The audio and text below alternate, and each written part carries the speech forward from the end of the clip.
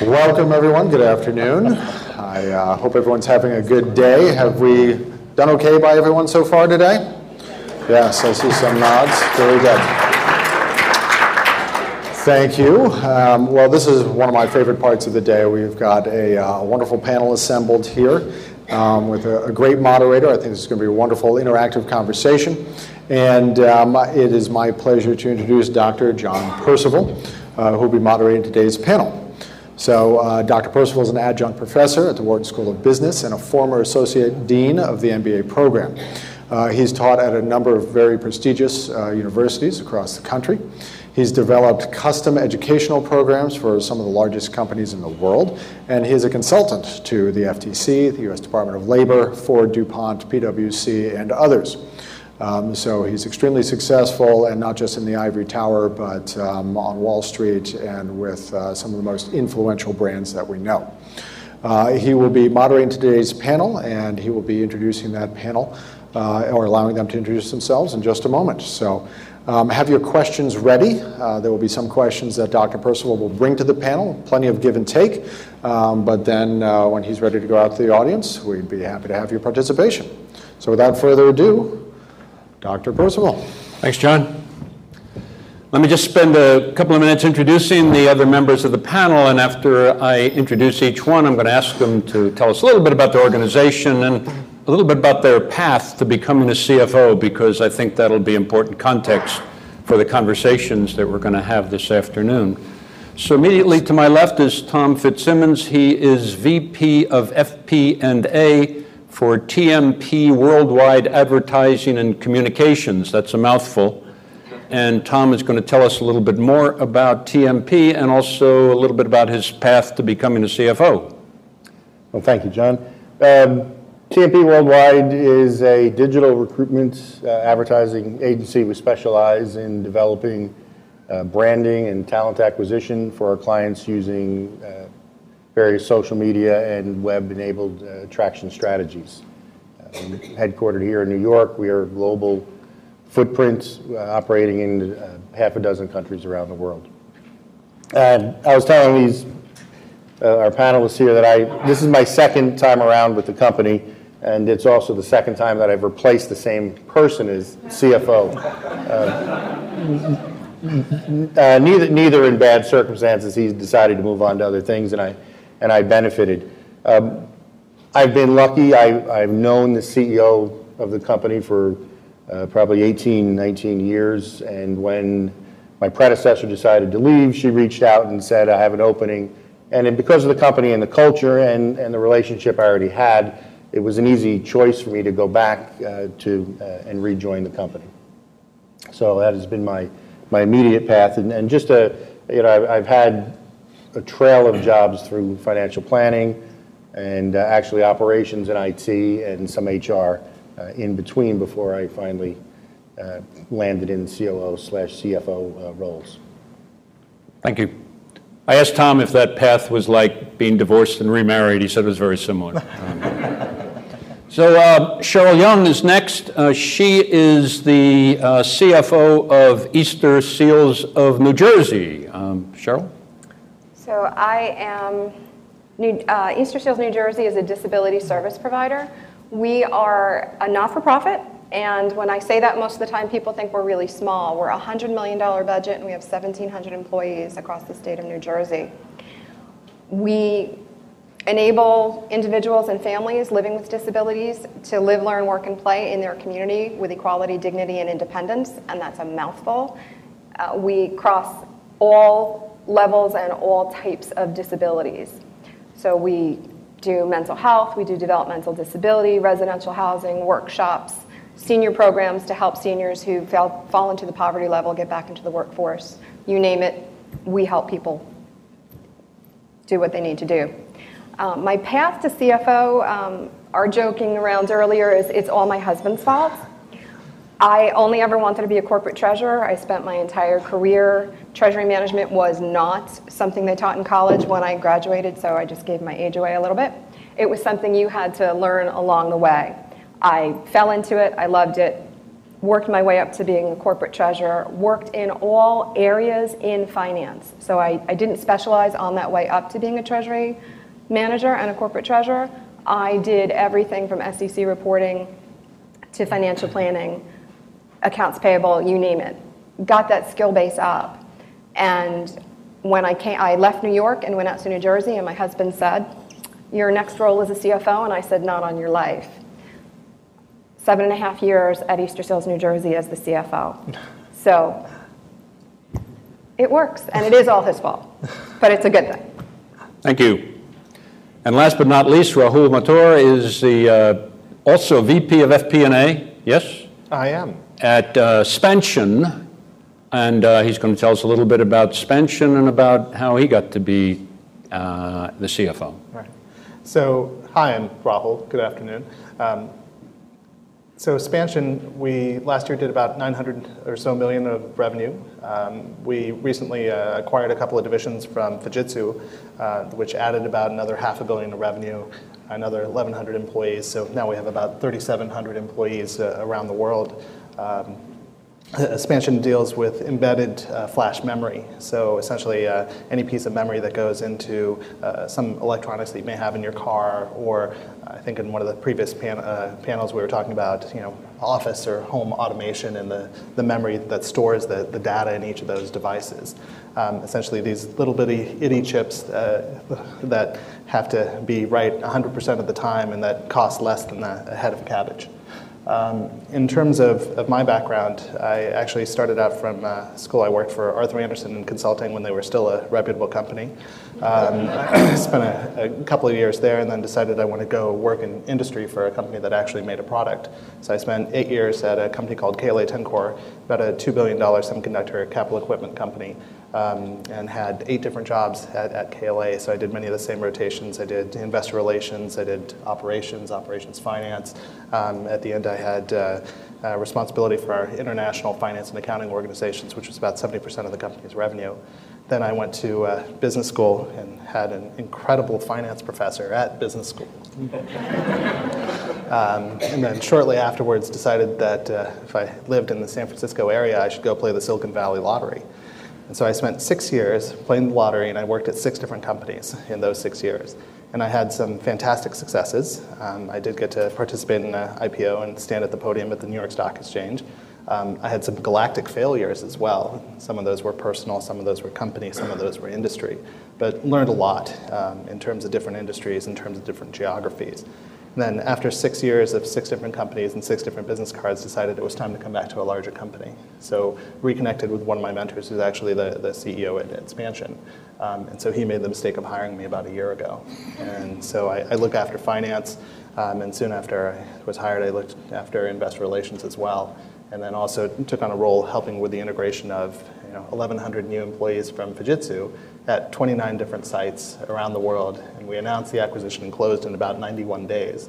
So making sure that each of those folks had a laptop and a place to sit and all of those other things. Thank you. So we got a private company, we've got a publicly traded company, and we've got a not-for-profit, so we've got the bases covered, I think. Um, so now a little context for the conversation this afternoon. Um, at the Wharton School where I teach, um, in the executive education area, we're always interested in new product development.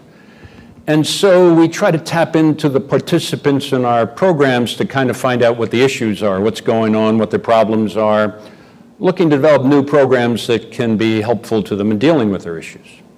One important source of information to us is the participants in our advanced management program. It's a five week long executive education program. The participants are really fairly senior managers from companies from all over the world. And again, like this group, they're small companies or large companies, they're private, they're publicly traded.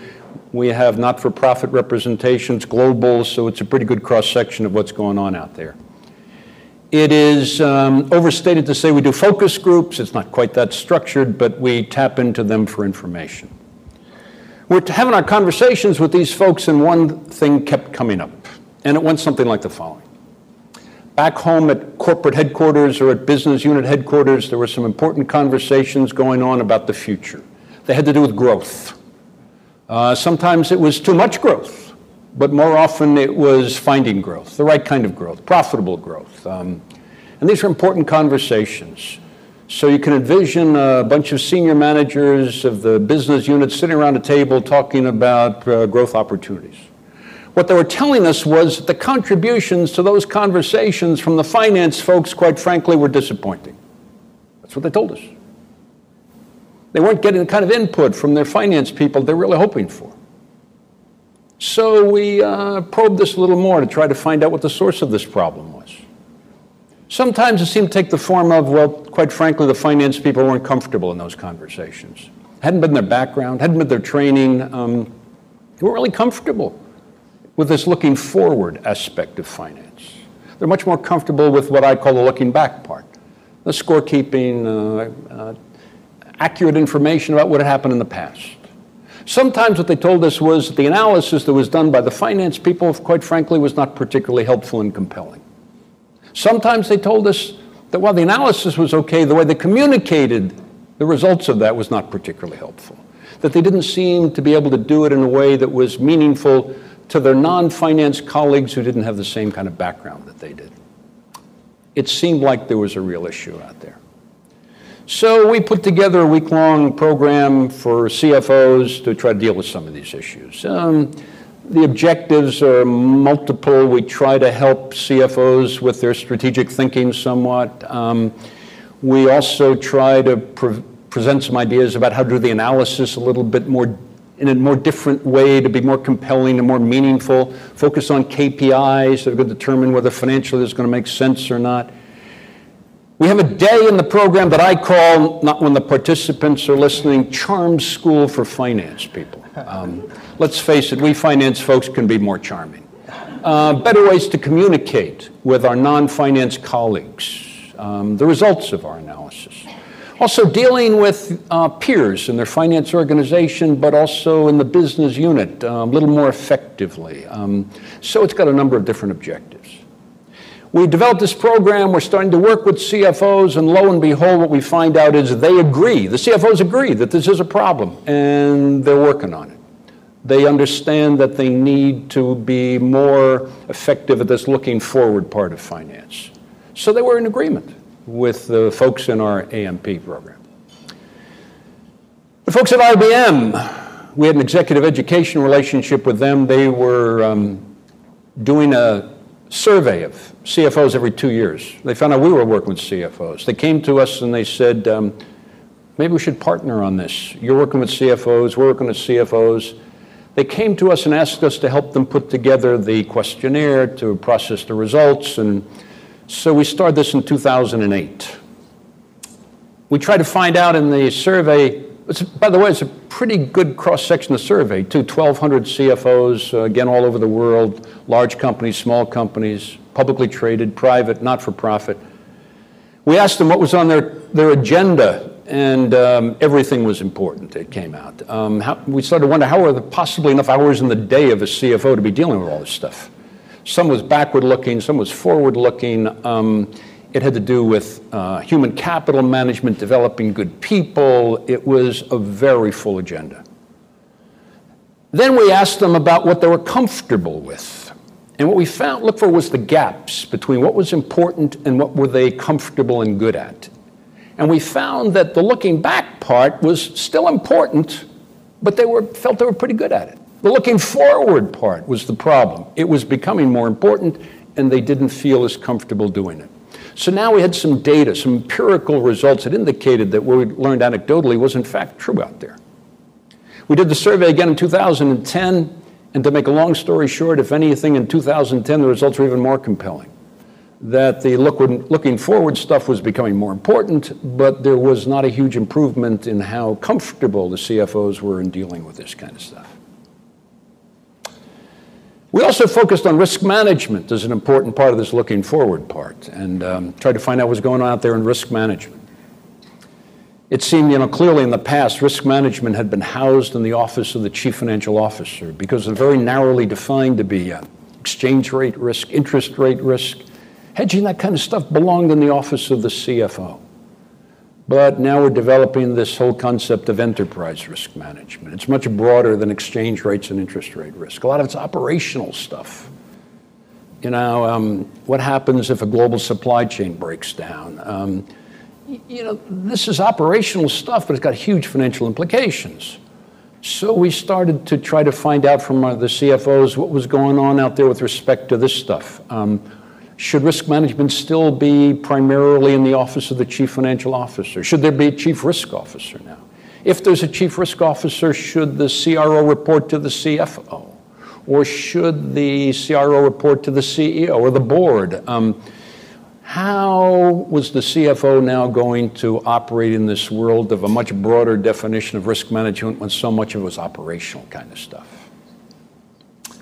There's some data around that I've seen that suggests that the job of COO seems to be disappearing. And there is some suggestion that de facto, more and more in companies, the CFO de facto is taking the role of the COO. So clearly seemed like there was a change going on in the office of the CFO. We talked a little bit with uh, the, our participants and also the survey about structuring a finance organization. Uh, we got these matrix organizations now in um, companies out there where business unit CFOs who have joint uh, reporting responsibility to the corporate CFO and also their business unit leader. I don't know. Conflict of interest? What should be the primary responsibility of the business unit CFO? To the corporate CFO, to the business unit manager? Is it a good idea for the business unit manager to think the local CFO is a spy from corporate, there to figure out all the bad things that are going on? Is that going to develop a healthy relationship between the business unit manager and the local CFO? So there seem to be a lot of issues going on these days in the office of the CFO. By the way, folks, a little anecdote. We also had a one day forum on campus for chief marketing officers. This wasn't even on the agenda. But one thing that kept coming up was that there seemed to be, in particular, a problem in communication between CFOs and marketing folks. Could I see that shocked look on the face of all of you? The Marketing folks were magnanimous, however. They were willing to admit that part of the problem was theirs. They didn't know how to communicate their ideas in ways that would resonate with finance people. But, folks, they felt part of the problem was on your side, too. You weren't willing to meet them halfway to help them to understand the financial implications of their ideas. And so it seems like there is this changing role for the CFO these days. By the way, one other anecdote. Um, our CFOs in our open enrollment program were telling us that they were understanding this responsibility, that it was more important for them to be spending time with the business unit management looking forward. And then along came Sarbanes Oxley. Oh my God. I was now ready to allocate more time to looking forward, looking at the future, but now I'm personally responsible for the quality of the financial information, whether I put it together or not maybe I better go back to spending more time doing the accounting part. Clearly, there were some big issues out there for CFOs. So we've got a wonderful panel here, a variety of different um, areas um, in our, our, economy. And so what I'd like to do is to use that for some context for a conversation now about uh, their views on this changing role for CFOs these days. And I'd like to start off by asking our, our panel um, do you think that maybe we need to have a different background for CFOs these days before they become CFO? Do they need to spend more time in operations? Can that be um, sort of uh, a little bit of time in operations? They need to have an operations job these days. Um, any ideas on that from our panel? So I'll be happy to, to go first. Um, one of the things that I was thinking of uh, when we were talking about these topics a little earlier is that in the conversations we've had today, um, what I've heard often is the, the many pieces that fall under the CFO umbrella now. And just to see if folks are listening, how many folks think that's less than 10? How many people think it's about 10 to 15? Raise your hands, no one's stopping you. 10 to 15. How many think it's more than 15? Okay, so people only responded to more than 15. Now, to actually learn one of those, how many people think you can do it in less than a year? Two to three years? Three to five? All right, so I'm, I'm guessing about three. So my math ain't so good anymore, but if I do 15 things in three years, by the time you learn all of these things, can someone help me? Most people will retire, right? So I, I think part of the challenge for each of us is recognizing which of these things we're going to build within ourselves and which of these things we're going to hire and which of these things that we may need in the future and which of these things we, we may not. And I think that's one of those challenges. I wonder if for some of the research that you cited, part of it is, in, in my thinking, and please be interested in your feedback, is I think there's a pendulum, right? There's a pendulum for the CFO role of how many of the CFOs you know, feel like they should be in the Gordon Gekko mode. Greed is good, right? How many of the CFOs think they should be in the, uh, and, and forgive me, my, my memory fails me, of the, the cop who got Al Capone, right? And what did we get him for? Treasury, right? Tax, right? And that balance, that equilibrium changes. And because of what happened in regulation, I think you saw a lot more companies, you saw a lot more boards going to, no, no, we need that gatekeeper. But then business changed, now we need this person instead. And I think the truth is, is that um, we each have to be like Baskin Robbins. There's 31 flavors or more. And to be able to build that and to be flexible enough to understand which ones we have and, and which ones we don't. Does that make sense? You raise your hands, don't raise your hands, middle fingers, something? I I mean, I was fortunate to have a path uh, over the number of years that afforded me uh, various roles in and out of, out of finance. I was able to run uh, our small business units and had a collection of six offices around the country for a period of time. I had um, foisted upon me uh, Y2K IT when I did an analysis from finance and said we weren't going to have a system. And the chairman of the company politely informed me I had just volunteered to get it done. Um, and had also, during some mergers where we were, we were making a lot of acquisitions, uh, stepped out of the CFO role to let one of my uh, cohorts kind of step in and stay because he had worked with that current president, and I wound up running uh, some operations and some HR. So I had a, a good flavored background. It doesn't mean you have to go that route, but it means at a minimum when you're in a CFO role, you need to have some empathy and understanding of some of the roles you're dealing with. If there's a complaint from the field and from operations, and I think John alluded to this when he talked about the chief marketing officers, is you don't understand what I have to get done. You don't understand my world and what I'm trying to get done. They don't understand our world. We have to be very careful when we speak to them because they just will not understand when we talk about revenue recognition, when we talk about GAAP, when we talk about what we are allowed to do under certain rules and regulations. But similarly, we need to understand what pressures the field operations are under and how they need to achieve, and also understand that they clearly don't know how to communicate to us. They don't know how, marketing doesn't often know how to make a presentation in an ROI format to tell you this is how much money we need to spend on this operation. It looks like a ridiculous waste of money and a junket. What's the payback? How are you going to quantify it? What do you get out of it? We have to actually be coaches and help them along. And sometimes, like you do with your children, okay, let me show you how to do it. This is how to get me to agree. They will learn. They will learn very quickly. From my perspective, coming up through the ranks, and you've probably seen this in, in CFO magazine articles and business news articles, they tend to pick the CFO every three years. It comes from the controllers group or it comes from the tr- corporate treasury group. For some reason, people view corporate treasurers as having that wider variety of experience. I think you have to create your variety of experience. I worry about saying that CFOs need to have the operational experience before they can become a CFO creates a burden on folks and that it is something you can gain along the way. I happen to have, I oversee one of our programs as well as finance, so I actually have that operational experience. But before I became a CFO and gained that operational experience, I, I, agree with what everybody's saying up here, but one of the things I had to do was actually go out, take those business unit leaders to lunch, take the marketing person to lunch, talk to them, Say, I get it.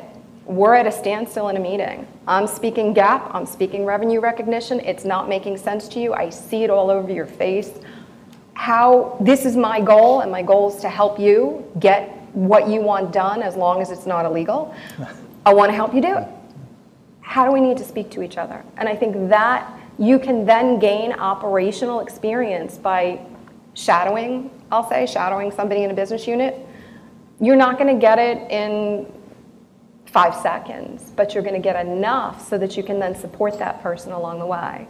And, and it is, it's that partnership, it's relationship building with each other so that you share knowledge and then together you build a better business model. How do you, um, how do you develop that relationship with the business unit manager where um, you have this um, close relationship that you're a trusted financial advisor, you're there to help them understand the financial implications of what's being proposed. You're not there to say no. If you're asked for an opinion, you express the opinion, but if the business unit manager decides to go in a different direction, while you may not agree, you, you understand it's not your job to say no. Um, how, do you, how, do you, how do you develop that kind of relationship with a business unit manager that's uh, a comfortable and a productive one. Have, have, you had some experience where you've had that kind of relationship and where you haven't? And um, mm-hmm. how do you handle it when you don't have that kind of relationship? I can take it. Um, I, I've actually experienced being the one who says no and having that adversarial adversarial relationship, but I've also experienced changing that same relationship, and now it's a complete partnership. So when I came on board to Easter Seals, I would say no. But they would never give me the next sentence to say, but. And I've learned over time to put the but first and to start the conversation with, I know I'm the one who says no, but here's going to be the pattern. Give me your best creative solution. I may say no, but let me think about it in the moment, and then we can figure out how you can do it. Because my no doesn't mean it can't be done, it just means it can't be done that way but we may be able to figure out how to do it. One of the key questions that I've begun to ask is what are you trying to accomplish? Because most of the time, people come to me, business unit leaders come to me and say, I want to do this. And the answer is going to be no because it just won't work. But that's not the only solution to their issue. So, my advice and my experience is ask what they're trying to accomplish and let them know. Don't stop being creative because this discussion came out as a no. Keep bringing the creative ideas to the table, and that works. Over time, that very adversarial relationship took the person out to lunch, had a heart to heart, started to approach it the way I just described. Anytime there's a problem, that person comes running to me to say, Is this really what's happening? And you know what? This is what I'm trying to accomplish. They actually shifted because I shifted. They shifted how they come to me with their solution. They come to me with what they want to accomplish, which allows the finance group and myself to be more solution oriented in a way that's supportive of what they want to do. I would, would echo that. I, I, would, I would say um, a lot of time our first reaction when someone brings something to us is to want to choke the person and say, What are you thinking? Um, and you suppress that urge. But the next thing you have to do is have that, you have to have that patience to understand that what is and this will sound both somewhat arrogant as a CFO, but somewhat understanding, what is patently obvious to us as a wrong choice or a something not possible is not obvious to the person who's bringing it to you. And they just don't have the framework, your experience, and also your access to knowledge. You have to remember, we all operate from a much higher position of knowledge of the company, of the strategy, of what the CEO is thinking, what the board is thinking. So we know directionally where the company wants to go, and it's not always imparted in great detail to every person in the line. So it's that patience of saying, okay, it's no, and then it's finding the one thing that you can impart. Everybody likes to feel smart.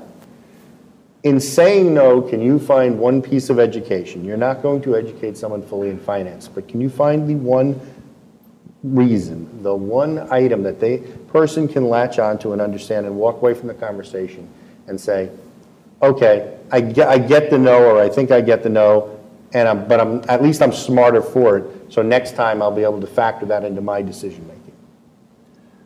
I think um, two of the things that I would add as I continue to, to bore you with the dulcet tones of my voice. Um, one is the ability to, to build trust, I think, goes along with being able to disagree but commit. That our job is, and I think you're absolutely right, is to provide options. Uh, this may not make sense from a business reason, this may not make sense from a, a regulatory reason, but here are different options for us to go a- accomplish something. And one of the things I, I continually remind folks who have the misfortune of spending more time with me is that you know, businesses don't become profitable by having necessarily the best controls, right? They become profitable by making money and making more than they spend, is what this guy taught me, right? Um, and you have to realize that that's, that's what you're, you're there to, to help do. So the, the disagree um, and, and commit, I think, is important. I think another part is just, just as, as finance leaders, is making sure we're not putting our staff in that position where they have to choose, right? Of who is going to fire me? Is it going to be the corporate boss or is it going to be the business unit manager? And no matter what I do, I'm going to get fired right? And not putting our teams in those positions. So building structures, building systems, building communication channels, which doesn't always obviously lead to the finance guy gets fired. Because it's going to be the finance guy. It's not the guy who's making the money for the company, right? Often, often, right? Um, so I think that's a challenge. Uh, and, and personally, um, uh, during the, the lottery time, I actually did spend two years in, in India um, as the local CFO for a company based in San Francisco, and they put me in India because they wanted someone on the ground who spoke American. And they knew that I had the, the courage, to, and because I came from headquarters or, or from the local area, to call headquarters back and say, here's what's happening, because there were concerns about what was going on. And because they built a structure to where I knew that I was protected, it was much easier. But that's a challenge that each of us faces at, at different times. I mean, even now, you may have that challenge with your CEO and a board. Of when would you choose to go directly to a board instead of through your CEO? Suppose you have a business unit leader who has, for want of a better term, a vision, in quotation marks. And to be quite honest about it, you don't agree with the vision. You know, it doesn't make sense to you. Um, but the business unit leader ultimately gets to decide. And, you know, what if the business unit leader doesn't really like people questioning his or her vision? How, do you handle a situation like that? I think when you, you know, the, the, at the first level, in, the CFO role, you're the trusted advisor to the CEO in the first step. If you come across a business unit leader who is really, really just not going to stay within the bounds of where you want to take the company, then, then you have to hope that your relationship, if you built a good enough relationship with your CEO, where you can honestly go in and say, listen, this person, who generally reports up through a different channel to the CEO, is taking us down a path which is harming the company. And sometimes you have to do it more formally and say, hey, listen, they're going down this path. These are my disagreements. This is why I, I think it's wrong. And here's what the alternatives are to making it better if they exist. And it has to be formal. Sometimes it can be informal. Just, hey, what's going on with this person? Why do they continue with this? Why are they pursuing on that? You might want to check in with them and get them back in the, in the program, so to speak. But Tom, what if it's the CEO's vision you disagree with? If it's not, you can only, and I've had this, these disagreements, you can only make your disagreements known. As long as it's not illegal, you are somewhat stuck. If it's illegal, you have a fiduciary responsibility to go to a board. Um, I had a CEO in a prior company taking, making decisions that while they weren't illegal, they were borderline uh, unethical and not putting things in front of the board. And, and ultimately, the CEO was moved out of, out of her role by the board. And I had the, C, had the board contacted me to ask me literally to cancel a vacation because they thought I was going to have to come in and walk her out of the building. Um, but ultimately, what happened is they decided to make a more gentle switch, but relied on me to give them a, a honest, straightforward assessment of what was going on in the business. You're going to be called upon to do that. Ultimately, in a, an equity-owned company, your, your, your responsibility is to the board, which is primarily driven by the equity partners. I'd, I'd just like to add to that. I think it the question and the answer for me follow from the very last question that was asked. Everything that Tom said is accurate and true, but when we sign on for an executive role, our boss generally is the CEO. To some extent, it is the board when we have to go there. And I think, sort of what I said before, you say no, and then you ask, what is it you're trying to accomplish? And you give the person different options that may or may not be acceptable, whether I agree with them or not. There are other acceptable options. They get the right to choose. And once they choose, now you've given them what's the risk of each option the good, the bad, and the ugly. Let them choose. You now have to live with it as an organization, as long as it's not illegal. We're, we're talking about maybe I still disagree, but as a senior leader of that organization, once that decision is made, I actually have to move forward with it as an organization leader. So I, I don't know if that speaks to a little bit finer tune. I, th- I think part of it, if I, if I may, is also um, changing the role from being a gatekeeper, right? That why does the decision have to come to you for a, a yes or no? And if you keep on giving the, the unpopular response, our decision's no longer going to, to come to you, which is a risk in itself. And can you change your role from being that gatekeeper to being more of a participant in, in strategy? Right? Are you at the table helping making that decision, being constructive with that salesperson who you all adore, or that, that marketing person as well, and being part of the team who's trying to make, make a difference. And I think if you can work on changing your role in that process, and, and everyone, no one's going to forget that you're the gatekeeper if you're sitting around the table. But um, it, sometimes if it helps to blur the lines, and not in a Robin Thicke way, but to blur the lines and to be part of a, a team necessarily with, not necessarily with a specific title. And I think that goes a long way in terms of, of building trust. And that's some of the feedback that you know, I've, I've gotten for the folks who have the misfortune of reporting to me is that someone will come back to me and say, wow, you know, I had forgotten this person was in finance because they were trying to help the, the business. And that comes back to your earlier question of, of building that trust, building that track record as, as well. I I would I'd just add one thing is, is we all have to go through decisions uh, and support decisions we don't like. So our next job is to ultimately be prepared to figure out how to get out from under those decisions when we inevitably know they're going to fail. Right. You have to have the backup plan or the exit strategy. And I, I think our role has evolved from that bean counter in the back office to the trusted advisor. We're the strategic, my words, the strategic business advisor to everybody in the organization. Let me just um, ask you about what you think about this. I've got a, a finance person at a business unit who has matrix responsibility to the corporate CFO and the business unit leader, and uh, that can get a little confusing, if not conflicting, sometimes. Um, how do you think that should be handled? I mean, should that shouldn't the primary responsibility really be to the business unit leader, um, secondary responsibility to, corp- to the finance organization, or not? What I'll, I'll tell you, they're, they're all looking at me. No, I, I, I think we guys have a disagreement here, well. that's why. Good, So good.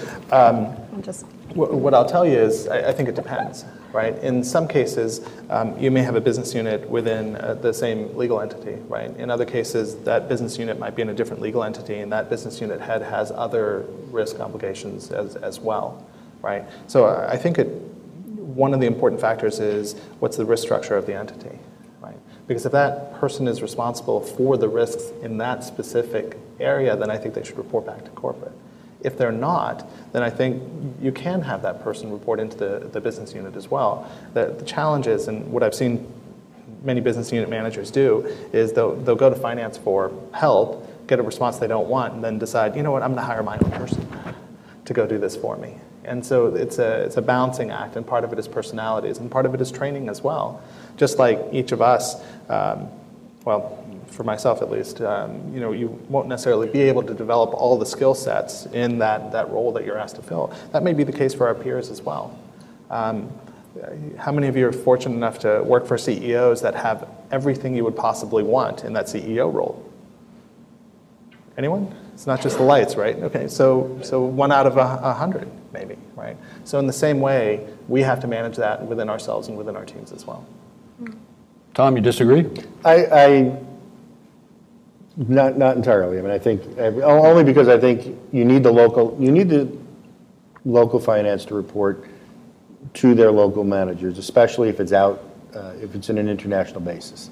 Uh, They need to be tied into the local country, they need to be tied into local division and markets.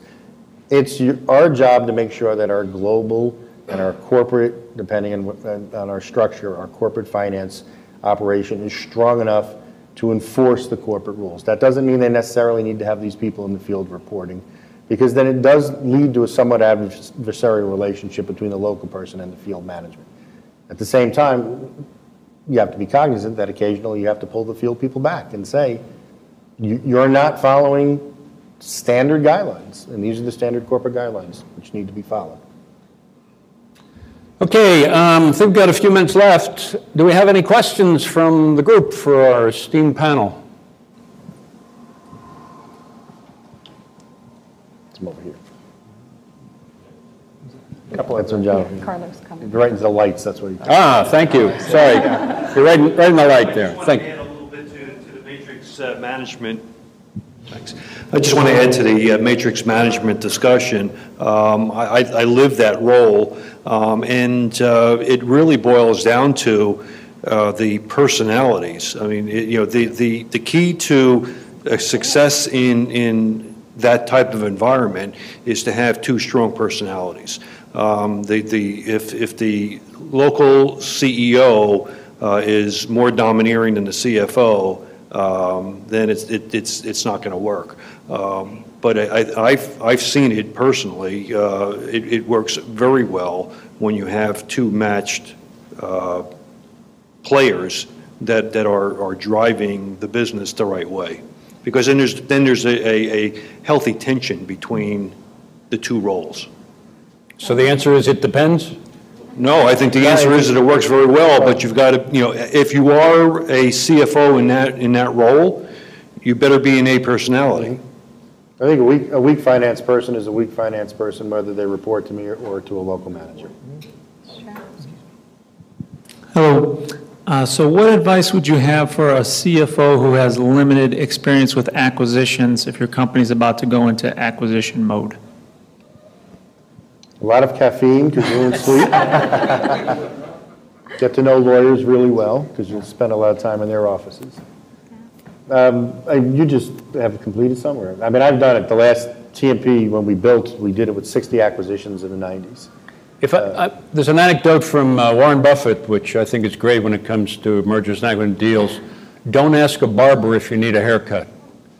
Uh, Be careful about who you go to advice for in doing an acquisition. Make sure the incentives are right for them to be giving you objective uh, advice if you don't have the background yourself. Get, get yourself some structure also. Build, build yourself, get some tools, get some standard playbook tools, the things you want to look at in due diligence. Um, If you, you know, your advisor firms should help you with that, but if not, there's, there are plenty of standard due diligence templates. Learn what's important to your business, what you, what you're acquiring, you need to look at. The things that are important in your business are probably important to look at in the acquisition business. And then just read through all that material and, and tick it off, really dig, dig in deep, look for the problems early. I, think as part of the, the build or, hire decision, right? That, depending on the timing, you may not have the opportunity to build that skill set yourself. So uh, understand enough to, to ask the right questions, leverage your, your network, um, and make sure you're, as, as uh, Dr. Percival said, hire the right people to help you with the right incentives in mind. We, we walked away, in my last company, we walked away from an acquisition after meeting with their board members to tell them that they didn't realize it, but literally the following day, the company was going to be out of cash. The board never knew that. We figured it out. Now, Something that we've done, we have a, a bunch of us that are good at the merger acquisitions. We want to educate the masses. So I think what everybody else said, don't be afraid to hire it if you don't have enough time. But one thing we're doing is being proactive in the world, and we're bringing in a consultant who has no um, vested interest in whether we do an acquisition or a merger. But we're going to take our top 20 people and have them sit in a room for three days and be trained on the process so that going forward for the future, as ideas come forward, there's at least 20 people instead of two that are prepared to at least think about the concepts as they come up. So I would say don't just think for today. You need to solve your problem today, but you also don't want to repeat the problem in the future for anybody else. You want to actually prepare the organization proactively. And get a good project manager. Yes. Because we all have jobs to do, and so does everyone else involved. You need someone to manage that process for you.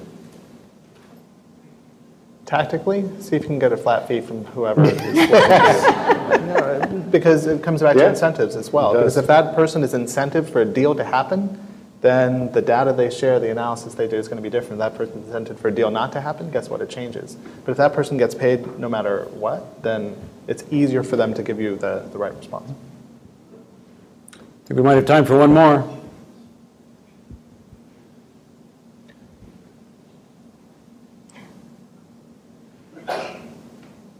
Okay, I guess everybody wants a drink. All right.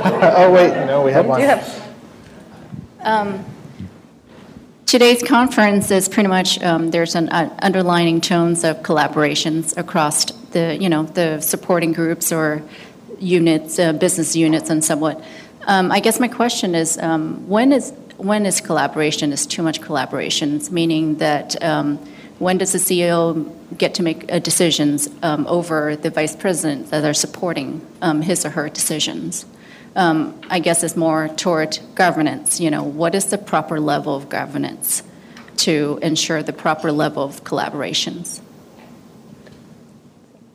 Yeah, I- think it's an interesting question. And honestly, what I look at is um, not necessarily a hierarchy or structure, but our ability to wield influence, right? Um, and that's one of the questions we were talking about earlier of, well, how many people are in your organization? Well, my organization might be this big, but I feel like I exert influence over this much. And it's the same thing with the, the question that you asked of um, is your CXX going to come to you because you have influence because of the trust you've built, because of the track record you have, because of your knowledge of either the, the industry or the business or your ability to do the right thing for the company and the individual. Um, and you have that influence to where who works for who doesn't come into the play or, or you know, we don't have to make decisions based on org charts. I mean, ultimately there is a decider and it, it generally in us, right? Um, but if you have that ability to build that influence within the organization, within the people that you work for, within the people you support, um, from some of the things we heard earlier today as well, then I think not having that conversation, not having to go to who's more important to the company, that am I afraid that she's going to leave or she's going to leave if I make a decision? So I, I think if you can work it to avoid a, a, confrontation, um, that may be beneficial, but that's not always going to be the case. Okay, thanks very much.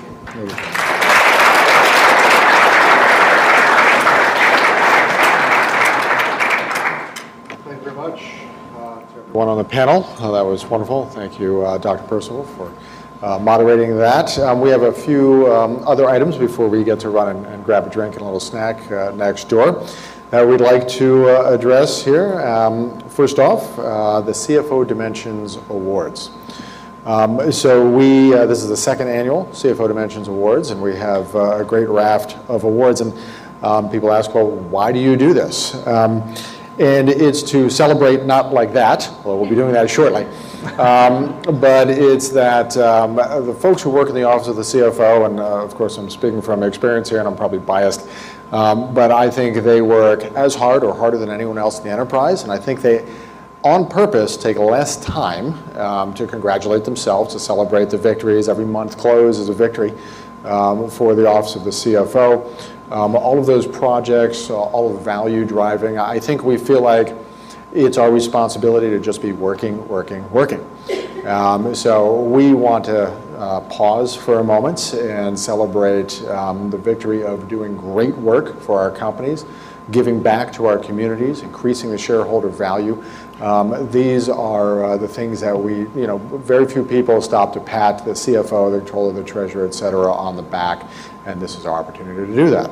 So we will do that um, very quickly here and run through these so you can uh, get into the next part of the event. Um, But we we definitely want to pause to celebrate these fantastic um, award winners. The first award is CFO of the Year, and we have two of these, one for public company, one for private company. And the CFO of the Year is not just someone who's driving good results now. It's someone who's building a fantastic organization. It's someone who's a great leader, a great manager, a great communicator. Um, and this uh, is someone like actually those who were here uh, listening to uh, Tom Conforti this morning. Um, he didn't just triple the value of one of his companies, he's tripled the value of every company essentially that he's been at for the last three, and these are huge organizations. Um, so it's folks like that who are building uh, all of the mechanisms that make companies great out of the office of the CFO. And our, uh, our winner for CFO of the Year, public company, Sean Aggarwal. He's the CFO of Trulia Inc., and um, he unfortunately could not make it uh, today, sends his apologies. But Elizabeth Brown, uh, the VP of HR, um, is here to accept on his behalf, so I'll ask uh, Elizabeth to come up.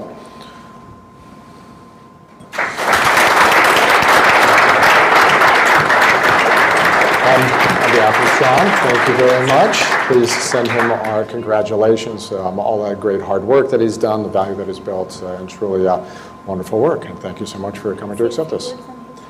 Absolutely, you may. Um, Yes, there we go. Yeah, It's, um, thank you. Yes. Um, I'm thrilled to be here um, and accept this award for Sean. Um, He, he's honored to receive it. He's excited about the role the CFOs are playing, the expanded role, more than just a um, a financial steward, but really that strategic partnership, what you were talking about, Rahul, the blurred lines, um, and being a strategic partner to the CEO and board. Um, He's actually, thank you, although it was fun to, to do that. Um, He's actually part of the reason I joined Trulia. It was my meeting with him um, that I saw the great opportunity. He painted such a great picture um, for growth, for opportunity. Um, and I was excited once I joined to see that other employees um, valued him and respected him just as much as you know I was taken by him during the interview. Um, so everything I've heard from the panel is is exactly what Sean is. Um, he's definitely a key partner, um, but what I think stands out about him is he's an inspirational leader. Um, the employees are very much inspired. I thought I'd give just a couple examples. It might be from, from fun for you all to hear from the other end. Um, so after quarterly earnings, he gets in front of all the employees and he walks them through the earnings um, so that we fully understand what we should be excited about, um, what we should, you know, why we should still keep the foot on our on the gas, um, so that we we all understand it. And then I notice in meetings, um, he's incredibly thoughtful about his comments and questions. Um, he asks us questions as a way of teaching us all. Um, so, you know, have you thought about this? Or might you pause to explore that? And it's just a wonderful teacher um, in a very respectful way. Um, but he really has guided us and taught us all. And so I'm thrilled to be here. I'm thrilled that, that you all see him as a great talent because we do too. So. Fantastic, thank you so much. Well said.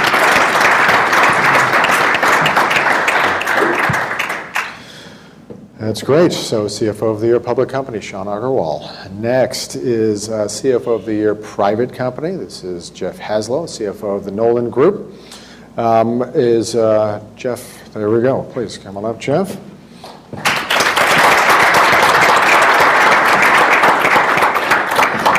So, oh, pleasure. Thank you so much. And, you know, CFOs of private companies don't get all the acclaim that CFOs of public companies do, but you're doing virtually the same work, uh, just in a different milieu.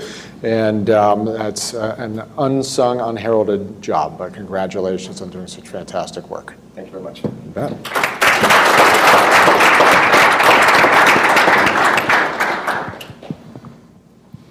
Oops. I don't think I'm going to be able to forward the slides with this. Different tool here. Um, Most effective finance organization. Um, So as I say, no man is an island, um, and it takes uh, a village. Are there any other horrible uh, references I could make? Um, The finance organization in a company such as AT&T's is huge. Um, and uh, you have to hire and trust fantastic people. You cannot do this alone uh, to move a company of that size. Um, so, uh, building one of those organizations that's incredibly effective and produces fantastic results year after year is something that we celebrate. John Stephens, Senior Executive VP and CFO of AT&T, is the winner of this year's award. He could not make it, unfortunately, but um, accepting on his behalf is AT&T's corporate controller, Paul Stephens. No relation. Paul, can you please come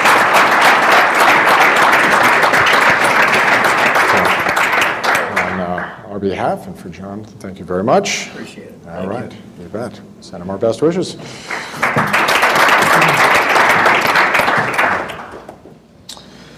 Next up, visionary CFO, and, and you've been listening to some of his vision here um, during this panel conversation. Visionary CFO is, um, is people who look beyond the traditional uh, role of CFO, and I, I like to think most CFOs uh, play this part to some extent, but there are folks who are more backward-looking, more forward-looking, uh, more hesitant to adopt technology, more aggressive. Um, to reach out and figure out how we help add value to our corporation now and in the future. Um, so uh, someone who is emblematic of great vision as CFO is Rahul Mathur, VP of uh, uh, FP&A, so you don't have to be a CFO officially to Certainly not. get this, absolutely. Uh, VP of FP&A for Spansion Corporation. Congratulations.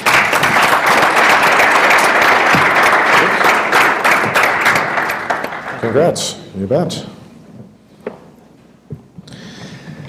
And finally here, um, and we've really stacked this panel, I must say, is uh, the award for leading by giving. This is one of my favorites. Um, we are so busy. I think we're the busiest people in the enterprise, although my CTO is always arguing that the engineers spend more hours. I doubt it. Um, but uh, it's great to be able to give back to the community, and, and Cheryl Marks Young has done so many things to give back, uh, not only within the company that she's working uh, uh, for, uh, but all the good works that she does while she's on company time or not. And a lot of the work that she does in being so effective as a finance leader of Easter Seals, New Jersey, directly leads to them being more effective as an organization in their ability to give back to the broader community.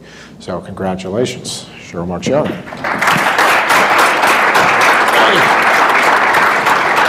Well done. Thank you very much. You bet. My pleasure. Okay, so we've got one last item before we get to go and have a, a party, and, and this is going to be a great thing. Um, we have, uh, for those who have been busy um, uh, entering or getting stickers in your books and, and filling out surveys, and we thank you all for all of those activities. Um, we have a great MacBook Air that uh, we want to give away, and, and here to help us do that is Matt France, who's the CFO of GCE Cloud. Matt, please come on up.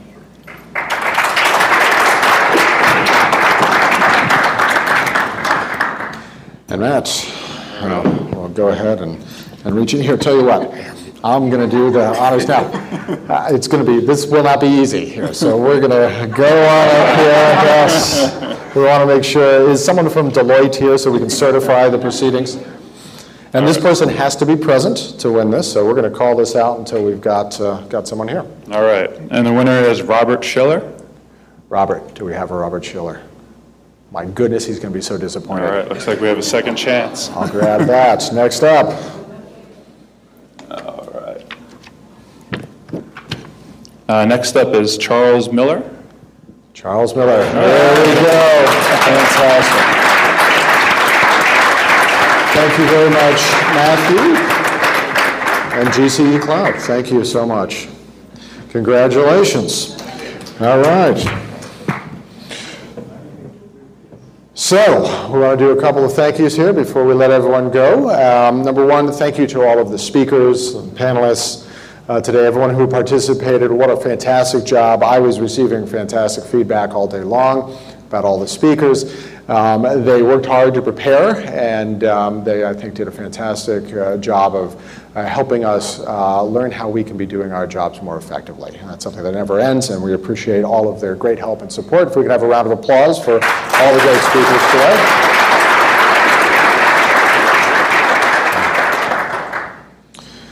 Next up, our sponsors. We literally could not do this event or most of the events that we do without the support of our sponsors. Uh, SAP, our diamond sponsor, our Platinum sponsors Intacct and NetSuite, and everyone um, who is a sponsor helped support our event today, helped us uh, find great speakers, uh, not just members of the companies, but practitioners, their clients, uh, uh, subject matter experts, very helpful. We really appreciate uh, that our sponsors are so supportive, and they enable everything that we do at Proformative, whether it's online in the community or offline here live at an event like this. So if we could also give it up for the sponsors of today's event. We appreciate that. And uh, finally, and I think most importantly, thanks to all of you for coming out. Um, it was fun and educational. It was great interacting with everyone. We love hearing from our user base. We are never, ever satisfied. So anything that um, you saw today that could be done better, we want to hear from you. If you liked it, we also want to hear from you so we can do more of it next time. Uh, but it was great meeting all of you and having fun today. We appreciate your time. It is so difficult to get out of the office these days. Everyone is so busy, um, busier certainly than the engineers at most companies. and um, we appreciate your, uh, the your time and the value of your time, so thank you for that. We look forward to seeing you at proformative.com. I gave a little view of Proformative. Many of you are very active on the site and you visit us frequently. If you do not, it's truly a resource unlike any other. It's free, it's noise free, it's just the folks in the room talking to one another, but offline, asynchronously. It's a great resource and we hope you can take advantage of it. I am closing CFO Dimensions 2013. Thank you everyone for coming.